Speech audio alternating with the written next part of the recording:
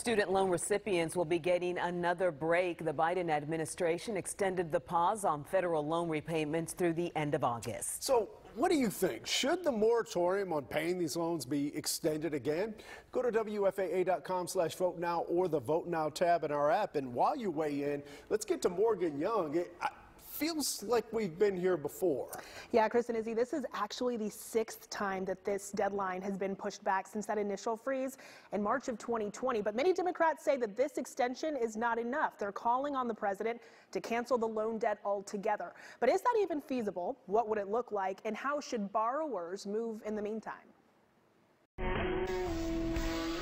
In 2022, nothing is safe from a social media joke, especially not the student loan conversation. It's significant and get off TikTok. Cathy DeWitt Dunn is a financial advisor in North Texas. This was not free money. This money is money that has to be repaid. She says if you can, this is a great time to pay it while interest is not incurring. If you can't, this is a good time to prepare. Now is really the time for you to refocus on your financial future and get a plan in place to address this. Of course, many hope to see the federal student loan debt canceled as of now, there's not a lot of evidence that that he and the administration want to go all the way down to full uh, forgiveness. SMU economics professor Colum Clark also says there are questions about whether President Biden has the authority to do that.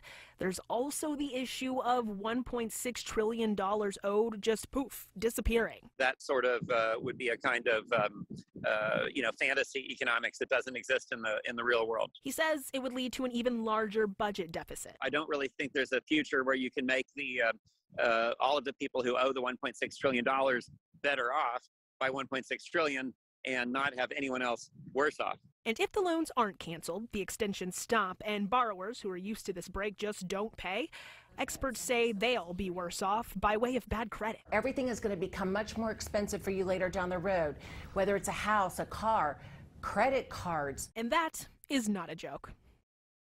So economists I spoke with today were not surprised that the loan repayments were pushed back. What did surprise them today is the announcement that people who had defaulted on their loans and were already really facing some financial repercussions before the pandemic were essentially given a clean slate today. So when payments start back up, those nearly 7 million Americans will be in good standing.